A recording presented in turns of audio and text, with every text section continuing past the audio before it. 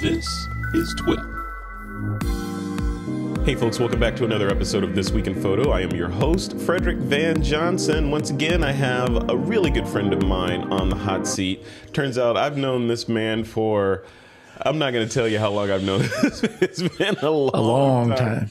time. a long time. His name is Marc Silber. He is um, he knows more about photography than you know than I just a lot about photography. He's probably forgotten more about photography than I know right now. So so he knows his stuff. He's an ace interviewer. He's got an amazing YouTube channel and he writes books on photography as well. And one of his books that's out there is called Advancing Your Photography. We're going to talk about one chapter from that book the five yeah that one five stages of photography and just what that looks like. So Marc Silber welcome to the show man. It's good to see you. It's good to catch up. How are you doing? Frederick always good to be with you. And yeah we go back you know it's like we're in the teens how far we go back to where we first met when we were doing a show, our my first interview with uh, Ansel Adams' son and at That's Ansel's right. home. Wow, was that cool? In his I dark room. That. We got to go yeah. in and touch Ansel Adams' enlarger. That doesn't it's like sacred. Right, but yeah, we got to, we got. That's a whole story into itself. Yeah, it is so cool. So Michael Adams, if you're watching this, hello. We got to catch up. Yeah, hello, um, Michael. Yeah, that was good. So yeah, the, so there's a there's a ton of stuff to talk about. Yeah, like I said, we have a a long and storied history of knowing each other and kind of moving through the industry. But you you have been you've kind of hung your hat on educating photographers and kind of yeah. sharing your learnings to shortcut their learnings right down the road. That's a good talk way about, of putting and, it. And you've built advancing your photography. So talk about that whole brand, the whole advancing your photography brand. What's that all about? Yeah, what it's all about, Frederick. You know, a long time ago, I was doing workshops, live workshops, and and one time somebody videoed me, and it had legs and all of a sudden I thought, wow, you know, instead of just teaching to however many people are in this room, and that room could be huge, it could be, you know, WPPI size, or it could be 30 people, you're still limited to the number of people you can reach, right? Physically. And all of a sudden the video world opened up that. And I thought, wow, this is an amazing way to teach people. But I like to go not just what comes out of my mouth and what's my experience, but what's worked for other you know major photographers starting with ansel adams and annie leibovitz believe it or not those were the ter- first two videos that we created. Yeah.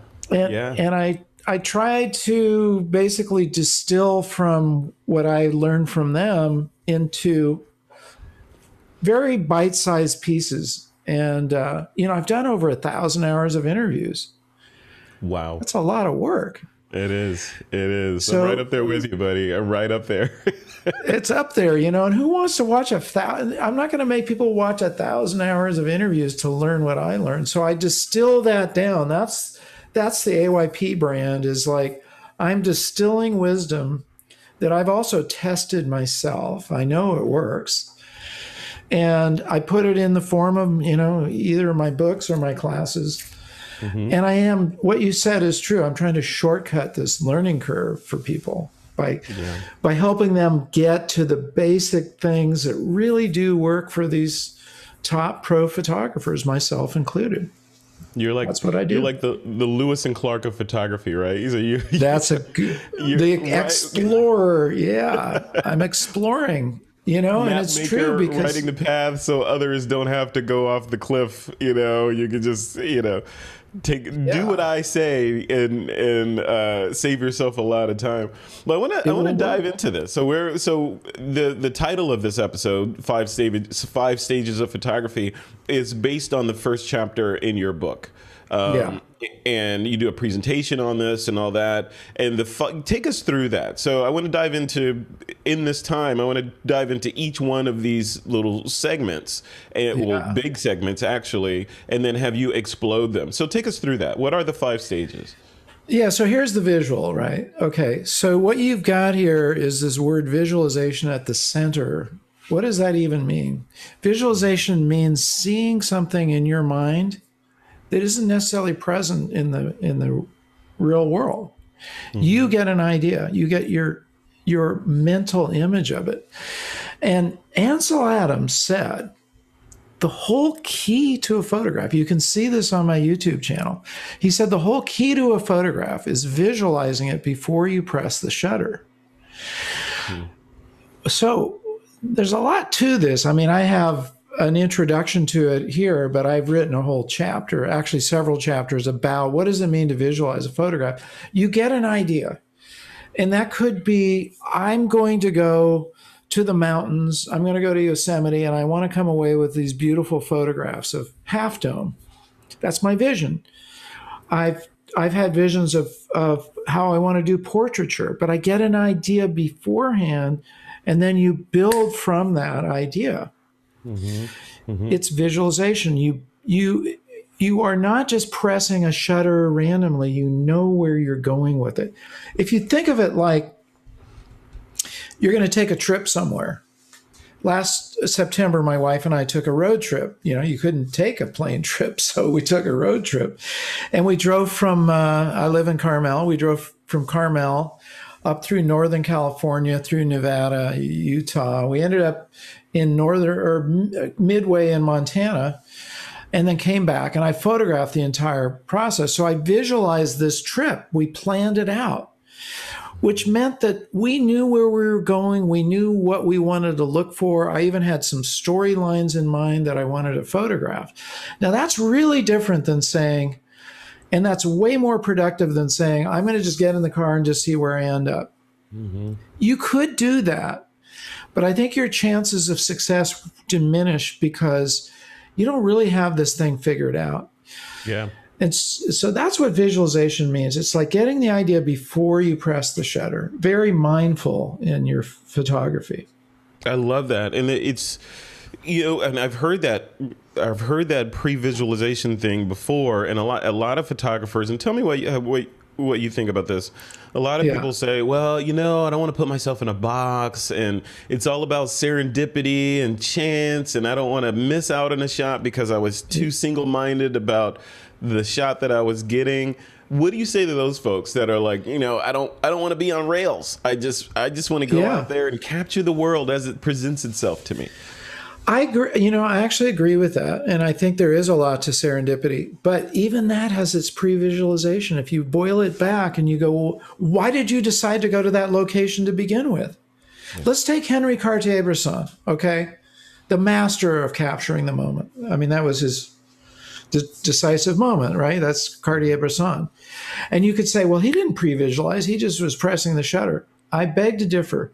He knew where would be a photo-rich environment, and he went there with an idea of what he wanted to capture, which was this decisive moment. Maybe he didn't know that that particular detail would occur, mm-hmm. but I guarantee you, he preconceived it. Yeah. And he, and you, by the way, you can visualize something in a split second. You go, whoa, bam, press the shutter right now. Yeah. That that occurred in a, a millisecond. But there's still this mental radar that you had mm-hmm. that said, I need to pay attention here. You know, Robert Holmes, Bob Holmes, who I've interviewed a lot, amazing National Geographic photographer, you know, he's won the travel photography of the award year award like five times. Amazing photographer. He says you go into an environment, you just smell there's a photograph. right? I yeah. I know that. Yeah. Right? Uh-huh. You smell it. There's something going on. Well, there even that's a bit of a pre-visualization. So I don't want people to think that it's a long, laborious process and you you've got to put everything on a tripod or any, I'm not advocating that. And I'm not advocating everybody being in rails and being in a box. It's it's a way to free yourself and go, wow, I yeah. am going to go to this environment and I'm going to come away and these are these are some of the ideas I have. So when I see them, I recognize them and I go with it. So that's and my answer applies, to that. This applies to all genres of photography, right? Not just landscape oh, yeah. and you know and nature, but also fashion, Portraiture. and portraiture, and Sports. whatever. Mm-hmm. Yeah. So have an rock idea. going photography. Yeah, like a rock photographer could go, I understand what the stage looks like. You know, they've already vi- visualized it and they think, well, if I stand in the press box with all the other 100 photographers, I'm going to get a photograph like pretty much that looks like them. What if I could get, and I've done this, what if I could get backstage and shoot from the side? I've done this at the Monterey Jazz Festival mm-hmm. And or even they have holes in the back where you can shoot through and see like a really intimate shot of the of the musicians. That's going to look really different than if i'm out here with a big long telephoto lens like everybody else. That's not so cool. So it's like knowing how to how to get that edge. Chris Burkard mentioned that you know he's an amazing photographer. He's got 4 million people following him on instagram for a reason. He's just really a great photographer. But his point was that, you know, he's shooting sports, he's shooting surfing, and there's 30 guys standing on a cliff, all next to each other. Ba bam, ba bam, ba bam, ba bam. He's what? Why would I want to do that? Yeah. So he goes, he he visualizes. What if I walked over from this angle, and I'm the only guy there, and I get the photograph from that angle? Maybe I can get a cover shot, and he did. Yeah. That's another way of visualizing. It's like Kodak. You remember? Remember back in the day, Kodak used to paint those little little spots on the ground. Stand here to take your Oh, boy. photo. Yeah, that's the place not to stand, right? exactly. That's exactly Yeah. what that is. If you want the shot that everyone else gets, stand on this spot. That's what it meant. So And that's a way not to have a brand because a brand is about differentiating yourself from everybody else. So let's move on from the from the visual. Yeah. So after you visualize, then the next thing you need to know is your equipment. And there's no shortcut for that. You do have to know your camera. And you, you know, if you use it as a tool of creativity to take your vision and turn it into a photograph, that's the proper way to use it. What I have a beef with is people who just geek out on cameras and that's all they do. Yeah. I mean, I get it. People do that with cars, right? They geek out on cars and they never even drive them. They're collector's items in their garage or something. Okay, but that just just label it for what it is. You're collecting cameras. You're not using them. But you got to know your equipment. You got to know your lens. You got to know what your camera sees. That's a really key component, right? Your camera does not see what your eye sees, guaranteed. First of all, our field of vision is enormous, right? Mm-hmm. And our range of dynamic range is un- almost unlimited because our eye just keeps adjusting all the time. yeah. So we have to know this camera will capture this way in this lighting condition. And that comes from testing and shooting and just knowing. So if you've got a vision in your mind and you use your camera correctly, you should be able to capture that the way you envisioned it. Yeah. So that's knowing your equipment. And that's your lenses, your lighting, your camera, your tripod, all that stuff. What do you say Okay. about like the you know you know there's this this whole relentless pursuit of gas, right? Gear acquisition syndrome in photography. Ah! so so We know what happens with too much gas. It comes know, out we know. noisily and smelly. yeah, and you annoy everyone around you, right? So that's the Yeah. problem. So how do you get out of that? How do you get out of that? Get off of that that roller coaster of I need the next best thing. Oh, that camera focuses faster. This one has a larger sensor, or that light does this thing. You know, Yeah. How do you how do you get out of that? Well, I think that's why this process that I'm going over is so important because you have to realize you're you're an artist. You're not just artists don't obsess over, you know, Picasso didn't obsess over the brushes that he had. You know, wow, look at this. This is an amazing brush. I bet he never even talked about them. You know, but yet he probably had the best brushes in the world. But he knew how to use them and he used them as an art form. So I'd say if somebody's stuck in that syndrome, just look at these cameras here. These are amazing cameras that you could do anything in the world with. There's a Rolleiflex, there's a Leica. These are 50 years old. This is a you know Hasselblad. These are great cameras. You they're not the newest. You can do amazing work with this. Yeah. Just s- step out of that for you know and that that's the thing we're in a very consumer driven field let's face it Yeah. okay i get su- hey wow that's a cool sensor you know i like that but that, you know it's easy to get suckered into that but but just back away don't do that i used to do something when people would show up in my workshops the first day you know multi-day workshop i'd mm-hmm. give them disposable cameras and I'd mm-hmm. say the first day you're going to shoot with this disposable camera. There's nothing to geek out about. It mm-hmm. was one of those few. You remember those Fuji? I don't even know if they still make them. You know, the camera and everything, and then you Oh, yeah. you sent the camera in and got it. So they could not geek out. I wanted their eye present, framing, key tools, things like that. So get away from the gas. yeah, get, get a, yeah, get away from the gas. Take a gas X and keep rolling. take a gas X. It does does you no good. So anyway, once we know our equipment, you do need to know your equipment. Okay, that's different than obsessing about it. yeah, And by the way, when you're switching your equipment all the time, you're doing yourself a big disservice. Because as you and I know, every new time, every new camera you get, there's a new learning curve. yeah, And if you are switching lenses and cameras and da da da da da, you're you're adding all these variables constantly into your work. It's not going to pay off. Don't do that. yep. You never get Find never what get works. To know the you never get to know the gear intimately so that you can understand how it will perform in different situations. It's kind of the problem I think that a lot of people have with. Um, with zoom lenses versus prime lenses. So Yeah. prime lens, you understand when you when you look at something, you your brain knows what that frame is going to look like. With a zoom lens, Yeah. there's a lot of variation in there, so you never really get hundred percent lockstep intimate with the lens because it's Yeah. so variable by design, right? That's true. Yeah. So you got to watch out for that. Okay. The next next part of this is capture. Capture means lighting and composition primarily, mm-hmm. and you need to know the tools of that. I teach people. You know, I wrote this book about composition here, and it's got 83 composition tools in it. Wow. And I say tools, not rules.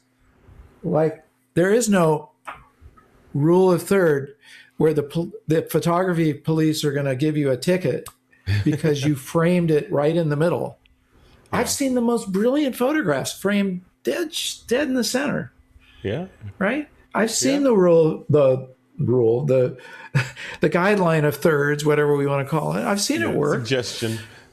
Yeah, but if you follow a formula in your in your composition, it's going to look like you followed a formula. Yeah. You know, it's like cooking, right? If mm-hmm. your if your if your cooking looks like it was like paint by numbers or out of a box, it's it's going to have that it's going to taste that way, right? That's why you have these great chefs who can bend things around and they learn fusion and whatnot, and it's it's amazing. They took some risks. So composition is is set of guidelines that you can use or not. Yeah. Lighting similar. You know, lighting one one beautiful form of lighting that I really recommend to people is Vermeer lighting.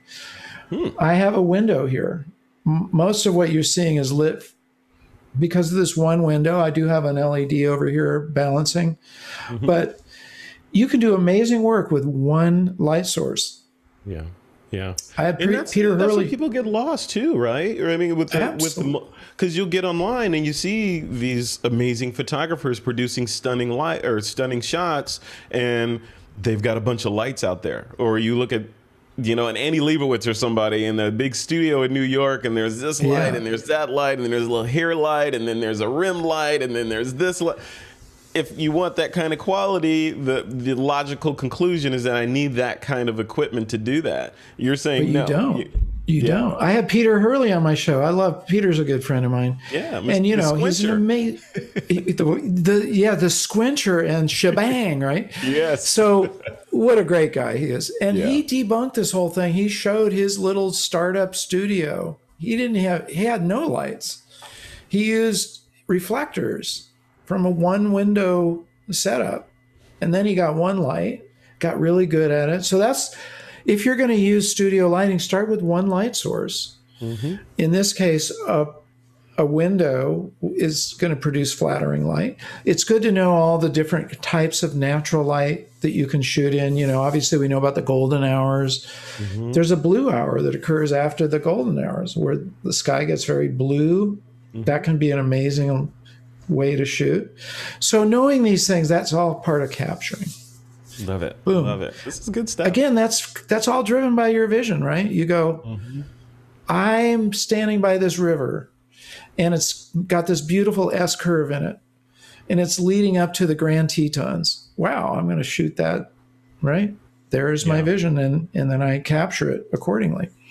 So b- before you move on to the next one here, just a, yeah. a quick question on on visualization. How deep do you think, in your opinion, should photographers go with that? Where, where I'm going with that is you know, there's a ton of tools out there. We've got these smartphones with GPS and all that, and these apps like yeah. Photographers Ephemeris, uh, PhotoPills, etc., that can tell us where the sun's going to be, where the moon's going to be, where the Milky Way is going to be, where the shadows are going to fall on any particular location on Earth at any given yeah. day of the year, right? Should they get to that level of minutia when planning and say, you know what, I want the Milky Way just between those two buildings, so I'm going to go on the 12th of March at this time and with this lens and all that, or or how deep should they get with that? I, I kind of leave that up to each individual. I I do use certain tools, like I love clouds in my photographs when I'm doing landscapes. Yeah. So I look at the weather. I look at my weather app. I think that's a helpful tool. Like I don't want a blue sky. Mm-hmm. I want weather, right? Yeah. So the weather app says, okay, it's going to be, you know, cloudy and it's going to clear off by such and such a time. Okay, I'm going to go out when it's cloudy. Those are good tools. I again, anything can be taken to an extreme and you can geek out on it or whatever. I do feel like research is a huge component to your photography that you should take advantage of. What's already been known, what's known about that place that you're going to go shoot. Yeah. You know, when I went to Paris, obviously I knew I had seen certain things that I wanted to photograph. And yeah. you have to come up with your own twist on it. Like when you take iconic photographs like the Eiffel Tower or Half Dome or, you know, New York City, whatever, that's been photographed a zillion times, come up with your own unique vision for it. And what about contamination? My, my contamination versus inspiration.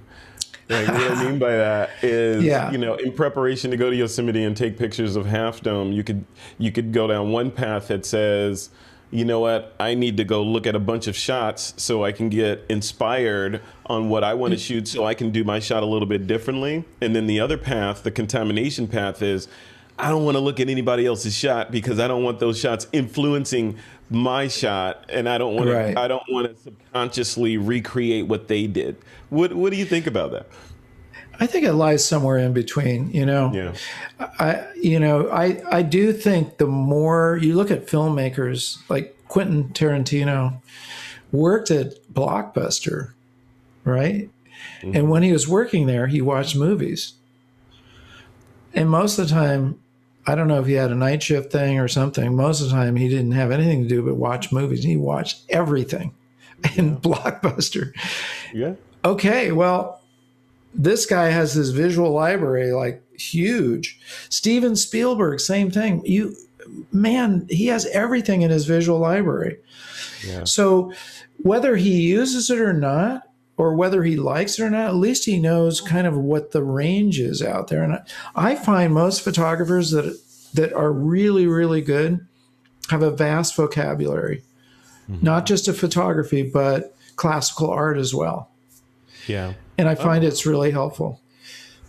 Uh, I give a class about this. Joey L., who's an amazing photographer, and he got started on the Twilight film when he was 16 years old study with Steve McCurry. Remember this whole thing?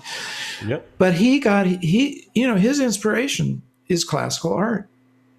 He says he looks at the framing that the artist used, Rembrandt, Vermeer, uh, you know, uh, these different artists, and uses that in in his composition and his lighting. So I, I think that really helps. And I, as far as contamination, yeah, I get it. You maybe don't want to be in move to do something you think is copying, but mm-hmm. I, I did another interview that's pretty interesting with, um, uh, you know, the story of the Beatles, and they they started off trying to emulate the Everly Brothers. They liked their harmonies, but nobody could ever. Nobody's ever going to accuse the Beatles of sounding like the Everly Brothers. Yeah. They just took that and made it into their own brand. Yeah, yeah. So like that's Microsoft what I say. say. Remember, Microsoft used to say they don't steal, they embrace and extend.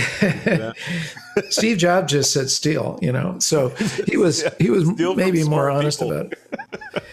so what you know, you're I know you're moving on to processing next, so that's a good segue from you yeah. know, you you were saying when you go out and you shoot, you look for clouds. AI these days, speaking oh, of processing, can replace skies do, does what do you, are you a purist, a sky purist, or do you let the tech take over? You and I had this discussion in 28, 2008. I don't know if you remember that because you were at oh Adobe then. Yeah, yeah. But, but you had to work pretty hard to do cloud replace. Sky replacement comes in Photoshop now, mm-hmm. and I've I've played with it. I can't say that I'm that satisfied with it. To me, I can't fool myself. So I, I'm the first customer that has to be impressed. And as as much as it, there are times where I just wish there was a cloud in the sky. I don't know. I'm not sure. The jury's out on that. Yeah. I I I would. For me, I'm a little too much of a purist to embrace it. I, I'm sorry to say, but it's you a tool that I may find myself using. I don't know. It's possible. Okay. All right. You haven't ruled, ladies and gentlemen. You heard it here first. Marc Silber has not ruled out. I haven't ruled it out. yeah. I mean, I'm not shooting documentary photo, you know, journalistic yeah. photos. I'm talking. I'm talking about a landscape. Sure. I look at it kind of like processing audio. You know, if I'm shooting a, a film and there's some bad audio and I can salvage it through, you know, processing it correctly, I will, of course. Mm-hmm. Anyway, that's a little that's a little different. I'm a little more of a purist. I, I tend to stick with what's already there, but yeah. processing your images comes as the next stage of this, and processing has its own visualization to it. You know, you may have captured a photograph and not thought about whether it was going to be black and white or color, for instance, but you get back and you put it on your computer and you go, "Wow, this would really, really look good as a black and white." Mm-hmm. Boom, that's a new vision. Mm-hmm. And I'll do that. I do that all the time. And I'm a I love black and white photography. I shoot a lot in color, but sometimes I'll go this is just stronger as a black and white photograph and I want to process it with as much of a dynamic range as I can get out of it. You know, Ansel Adams taught me that, the zone yep. system, right? Mm-hmm. Yeah. And I want blacks, I want a really dark black and I want a whites and I want everything in between. So I try to do that in my processing. And, uh, but whatever it is, you got to process your images. I, I don't think there's any photograph that comes out of any camera perfect, ready to go as much as they try, you know, like Apple with the iPhones and all the tech that goes into every shot that you press, it's amazing. And they still it's getting pretty close, but it still needs, you know, a little bit of a little bit of salt on there from the photographer. Exactly, it's your, it's your little tweako. Yep. And then the final part of this is sharing, which is getting your work out to the world, and that's a really fulfilling thing. If you just leave it on your hard drive or you leave it in your phone or you leave it on in prints in a box or something you're never going to feel that satisfaction of showing your work to other people. Let them see it. And i don't just mean social media. To me social media is like fast food mm-hmm. because people are going by it like this. How fast do they look at your image right? And they click it and they go on to the next one. I'm talking about making prints putting them on the wall making mm-hmm. books making putting them in videos. That's a really cool way to use your photo, photos. Share them with the world. Put them in shows. Enter art shows. Uh, yeah. Make your own blurb books. Whatever. Do something that that makes that a body of work that you can then show to other people. That's the final part of the yeah, process. It brings and it all together.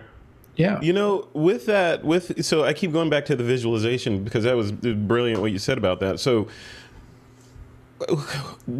how much should photographers begin with the end in mind? So you mentioned the sharing piece, right? So if Yes. they know that the ultimate goal for this shot or this series of photos I'm doing are going or is Instagram, or they know Yes. that ultimate goal for this shot of Half Dome in Yosemite is going to be big. I want to make a big print to put in my living room. And that's going to inform my mission out there and the composition and all that because I know the color palette of the living room. I want browns Yeah. in there. So do you, should should the end should the should the end justify the means? Actually, it's interesting you're bringing this up because I'm going to do a, a show about this on Thursday. I have a webinar I'm doing. I believe, yeah, I believe that the Ansel Adams said you should visualize all the way through to the final print. Where is this going to go? Is it going on your wall? Is it in one of those enormous screen? Remember in his living room, he had those three huge panels. it's amazing. Is it going in a book where it's it's a landscape and there's going to be a gutter right down the middle of it? I mean, I'm just saying this is what the pros do. They have to visualize the the end product. Is it going to go on a T-shirt? You're right. Yeah. You know, that, that yes. dictates resolution, the whole nine yards, right? Yeah, I think you should think it all the way through. And the more you do that, I think the better your work is going to get. Yeah. So it's not random. I love it. That's it. the answer to that question. I love it. Okay, so Think let's about the end result. Let's segue into into speaking of end result. We're we're nearing the end of this interview. Yeah. Um, this book, Advancing Your Photography, that you have out now, you've got a unique way of selling this book, right? That's right. So, yeah, talk about that. I'm interested. The marketing side of me wants to know. Okay, so this book I uh, actually give away to people. If you cover the postage and the shipping, we will basically you get it for free. So the postage and the shipping, you know, our handling, all the stuff that goes into it, because the stuff that you don't see, besides just putting the postage on it, is we have to ship it somewhere. We pay for that shipping. We pay for the whole little assembly line. So there's shipping and handling. So mm-hmm. basically, I'm for nine ninety seven in the U.S. You can get this book, which is about half price if you order it on Amazon right now. In the uh, any international order is nineteen ninety seven. Costs a lot of money for us to ship outside of the country. It's a lot of and they have to it's a bunch of stuff that goes in there. You got to put a customs order in there. It's a bunch of work. So we'll you cover that part of it. We'll we'll give you the book. And we have a link for that. It's advancingyourphotography.com that's the easy way to find it. It's the name of the book. Easy. Easy. Yeah. And is the book available as a as an ebook or PDF or only hard copy? It is available in many every form that you can imagine. It's available as an ebook, a PDF, which you can also I should put the actually if you go to my website, you you'll find there's these various forms. That's silberstudios.com. Mhm. It's also available as an audiobook through Audible. Oh, who did the narration? Um, a guy in England. Yeah. He did Excellent. two of my books. Yeah. Um, his name is Kev Odman uh, in England. And what's cool is I collaborated with him, you know, because my publisher basically hired him and we worked together. Uh, I also have it as a visual book as well. I have a course, an entire course where I've taken this and you get to see me, Marc Silber, not upside down. Marc Silber, not just narrating, but I'm actually I'm telling you everything that's in here. But you know, like every author, you only wrote down a certain amount, and the rest of it is still in your head. So you mm-hmm. get to hear all those other like bonus things that I didn't put in the book, and that's mm-hmm. also available through my website. You can see that as well. But the first thing to start with is get this physical copy. I want people to have the physical copy because there's a different feel to a book when you when you hold it in your hands and you see the prints and you can mark the pages Yeah, and you can put it in your camera bag. I made it the size you could carry it with you. yeah, So you have the material right there with you. And it's I love that. look, 997. I twisted I twisted your arm to allow me to give out the first chapter. Still hurting. it's like a vaccine shot. So Yeah. the the first chapter of that book we're giving away on thisweekinphoto.com so you can find Yeah. this episode if it's if you're coming to the site later after this is published just search for marc silber and you'll find it um, but you know you can you can grab the the first copy or the first chapter of the Yeah. book and then go ahead and purchase it you know for shipping only right so easy no reason not to grab it it's free so Exactly. I want you to have it. And it does give you the outline that I just ran through with you basically in the PDF. I love that. I love that. Yeah. So what's next? What's next? You're always up to something, man. You're always, what is what is next on your agenda? I'm creating courses. Uh, my the last book I wrote is called Create, which is about the creative process. And um, so I'm creating a course around this book, or actually a series of courses. So that's my next that's my next big project. And you know, I have a membership group that we meet together once a week. It's a mm-hmm. paid membership. It's called AYP Plus, AYP Advancing Your Photography. And like right now, I have them on a challenge, a 28 day challenge to create a project. And then we critique them every week. It's really awesome because, mm-hmm. you know, they're getting feedback. Talk about the sharing part, you know, over here, you're sharing it with a with a group of like-minded people who aren't afraid to tell you what they see. Yeah. So that's another project that I'm doing is teaching. I'm teaching all the time, basically, one way or another.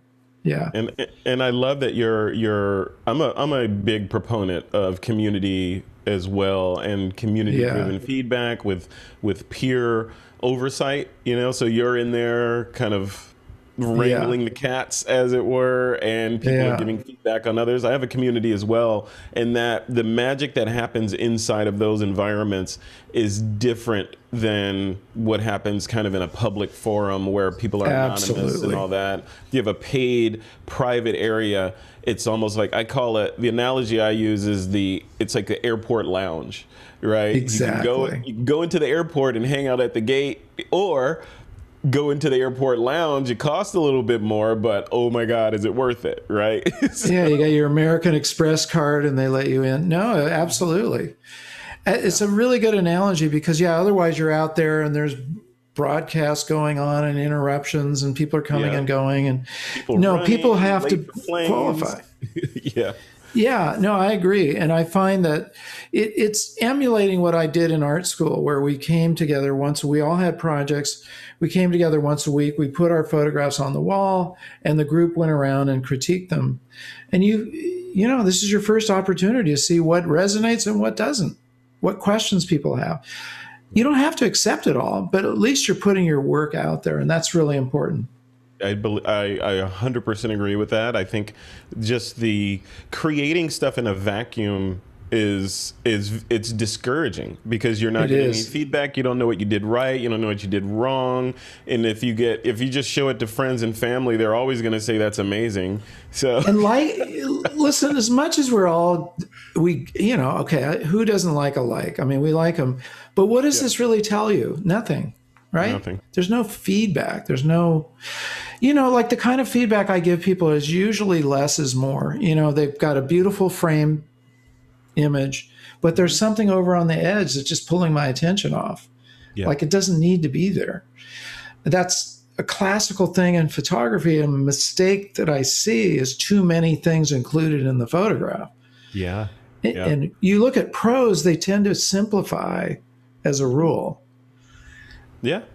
either through depth of field or cropping you know cropping with their feet moving in a little tighter sometimes they move back a little more you know Yeah. and those are those are interesting tools that you can use It was interesting because I remember uh, a friend of mine, Alex Lindsay, used to say because he's very plugged into the visual effects industry in Hollywood. He worked on Star Wars, you know, the whole nine yards. Wow.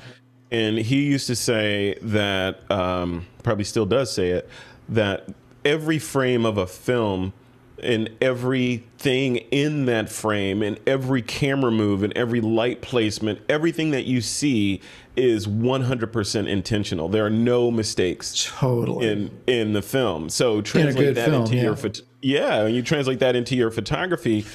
that shot, everything that's in that frame that you choose to present as a finished piece, everything in that, every pixel should be there on purpose with intent, right? Yes. And and I, I was tell I tell people we had this conversation in my community about uh, during our critique sessions. We, we were talking about how the edges of the frame are magnetic. I like to think Ooh. of the edges of the frame as being magnetic to your eyeball, right? So, so true. So if you have something so off to the edge, you're gonna veer the eyeball off, and it's gonna stick to the edge. So you have to keep the magnetism on the subject as much as you can. Yes. So I even look at my frame and you you know I'm violating that because I have this camera here with the shiny you know it's a Leica and it's shiny and it's off to the edge of my frame. That that you wouldn't want to do that with a photograph mm-hmm. because mm-hmm. it our eye's going to go to the shiniest thing right? So that you're absolutely right. Scanning the whole frame once not in in your camera but scan it again when you're processing it. That's right. Because you can always burn the edges. That's a very classic photography tool, right? Burn your edges. The reason that old time photographers did that is because they wanted to keep the magnetic frame from pulling your eyes out. That's right. Like that. That's right. Yeah, burning it in or or you know, doing a white vignette, whatever. Brings, you could do that too. Brings yeah. the focus in. Yeah, think of focus as magnetism. You know, you're don't don't spread it out. This is good, really cool, man. One. You and I could talk forever. I love I this. you and I could talk forever. Could. What? Uh, and I'm coming down to Carmel at some point. We're gonna hang out and have a coffee. When, uh, Absolutely. Uh, when the zombies go away, so we're yeah. definitely, we're definitely we're getting closer to that every day. We are. We are very much so. Um, so one final time, if people want to check out the book, they want to go to your website, they want to see what you're working on. Where should they go? advancingyourphotography.com and i think you i bet you'll probably put that url pretty prominently for everybody. So that's how you get the book. Uh, go to my website silber with a b s-i-l-b-e-r studios.com and also go to my youtube channel. If you search for marc silber so just go to youtube marc silber you'll find that channel. And same thing with instagram pretty much you can find me by typing my name in the internet. Yeah. It will pop up. I guarantee you there's a lot of Marc Silber stuff out there. And it's mostly about me. There's another guy that spells his name the same way. He's a musician. In Berkeley, we laugh because someone has I've gotten some of his emails from an old girlfriend. that was kind of cute. Mark, remember that time we were in Detroit together? I'm like, what? No, I don't. And uh, that Turned could out it was the other if your wife has access to your email, right? that that wouldn't be good. We straightened that out right away. It was pretty funny. That's excellent. All right, Marc Silber, thank you for coming on, man. It's always a pleasure catching My up with pleasure, you. Frederick. And congratulations on all the things you're, you're, working on. I love it that you have this sort of lifelong, unquenchable desire to educate others about photography and light light fires of enthusiasm in new photographers across the globe. So thank you for doing that. I appreciate you. Thank you, Frederick. Always pleasure to be on your show.